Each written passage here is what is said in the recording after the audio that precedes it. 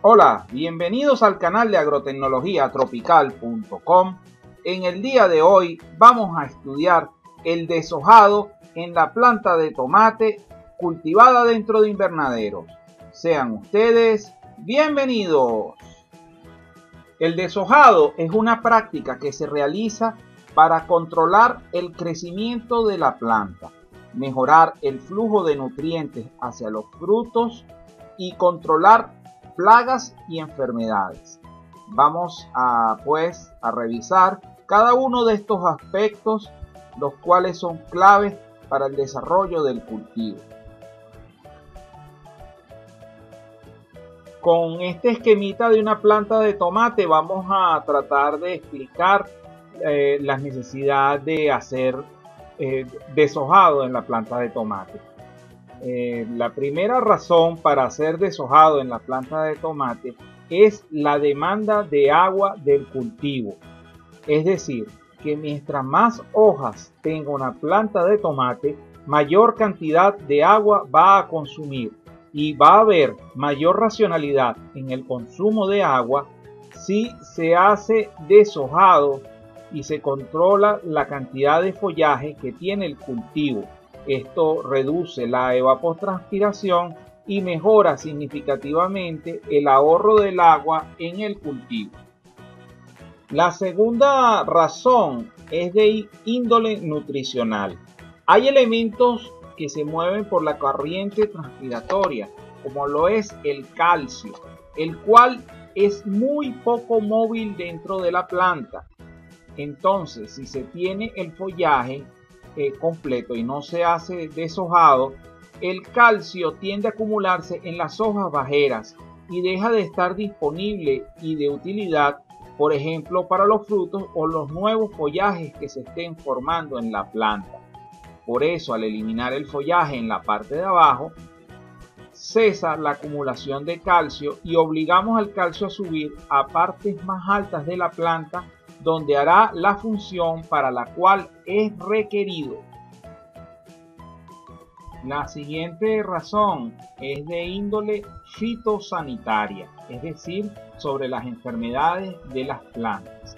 Muchas de estas enfermedades se encuentran en el suelo y por salpique de agua o la brisa o cualquier otra razón tienden a enfermar a las hojas que están más cerca del suelo esas plantas que se enferman son fuente de inóculo que luego posteriormente van a subir y van a causar enfermedades en la parte de arriba.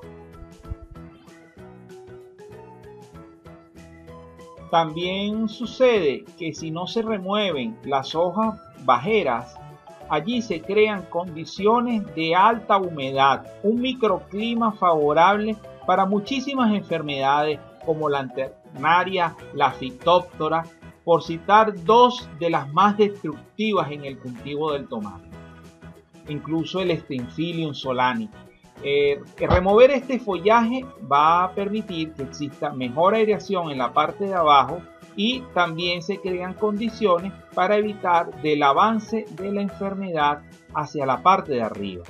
Otra razón importante es para que los productos fitosanitarios como insecticidas y fungicidas puedan llegar a toda la planta, porque en las partes bajeras no se presenta, no llega al producto y entonces no ocurre el control de estas plagas y estas enfermedades. Aquí estamos viendo la mosca blanca que tiende a acumularse en las hojas bajeras, en la parte de abajo de las hojas y allí es muy difícil que lleguen los productos. Por eso es altamente conveniente remover este follaje. Luego tenemos la siguiente razón que es de índole fisiológica, es decir, sobre el funcionamiento de la planta. Las hojas de arriba reciben luz y hacen fotosíntesis y producen comida. Sin embargo, las hojas que están abajo no reciben suficiente luz y a pesar de que tienen clorofila, no llegan a hacer suficiente fotosíntesis para alimentar a la hoja. Entonces, la planta tiene que mandar comida desde las hojas superiores a las hojas inferiores, las cuales están comiendo el producto de la fotosíntesis en la parte de arriba de la hoja. Eso es un despilfarro de energía y de esfuerzo que hace la planta para mantener vivas las hojas de abajo.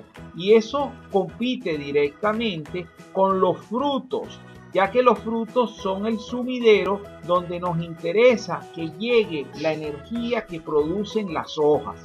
Eliminando las hojas de abajo, nosotros dirigimos toda esa corriente de energía que produce la fotosíntesis de las hojas superiores hacia los frutos y removemos el consumo innecesario que representan las hojas de abajo. La forma correcta de hacer el deshojado con miras a fomentar el flujo de nutrientes hacia los frutos es retirar todas las hojas que estén por debajo del racimo, de frutos que esté más cercano al suelo. Se pueden dejar las dos últimas hojas más cercanas al, fruto, al primer racimo de frutos.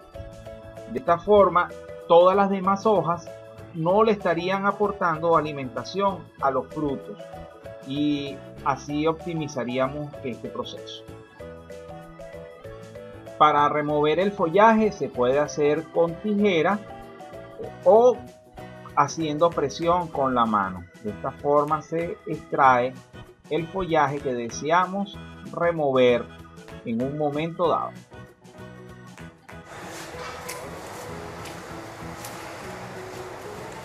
El follaje que se genera debe ser recogido, ya que esto posee, esporas que si se dejan en el campo pueden volver a contaminar a la planta de la cual fue retirada. Eliminarlo el follaje ayuda a favorecer la maduración de los frutos. Esto es particularmente interesante en zonas de clima muy frío cuando se desea aprovechar los altos precios del mercado, ya que en la medida que la temperatura sube y se acerca la primavera, los precios tienden a la baja de manera significativa. Entonces, eliminar todo el follaje ayuda a cosechar los frutos cuando todavía estos tienen alto precio. Otra razón puede ser comercial en el caso de las zonas tropicales para buscar los mejores precios o incluso si en la programación de trabajo se desea renovar un determinado lote en un momento dado.